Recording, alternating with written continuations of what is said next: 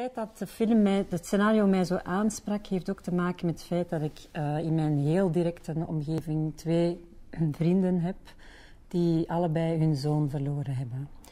Uh, iemand waar de zoon 32 was en in het andere geval was de zoon 25. Dus dat, zijn, dat is hetzelfde, hetzelfde, gegeven. Dus ik heb dat van heel dichtbij gemaakt, twee keer.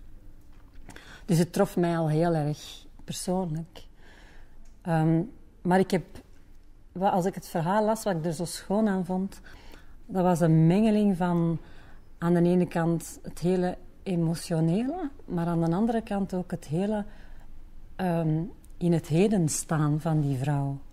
Het, het willen verder gaan en, um, en nog kunnen lachen. En dat is ook zo in de realiteit. Het leven gaat wel verder. En dat vind ik heel schoon. De, de zoektocht die ze zelf aflegt, op een bepaald moment beseft van... Eh, wij gaan verder als koppel dan. Hè? Er zijn genoeg koppels die door zoiets uit elkaar gaan. Um, dat is begrijpelijk, denk ik.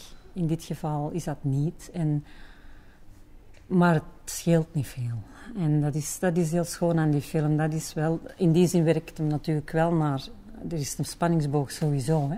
Als ik daarnet zei, er is geen grote climax. Ik bedoel, dan bedoel ik dat dit geen verhaal is met een, een, een ontknoping uh, die, die onwaarschijnlijk is of, of, of weet ik wat. Hè. Dat is absoluut niet. Het is vooral heel mooi en heel menselijk, denk ik. Ja. Ik wil bewust niet zeggen het kleine verhaal, want dat wordt altijd gezegd, hè, dit is een klein verhaal. Nee, dit is een groot verhaal, want het gaat over ouders en het verliezen van een kind. En dat is eigenlijk, denk ik, een van de meest belangrijke verhalen in de wereld. Ja.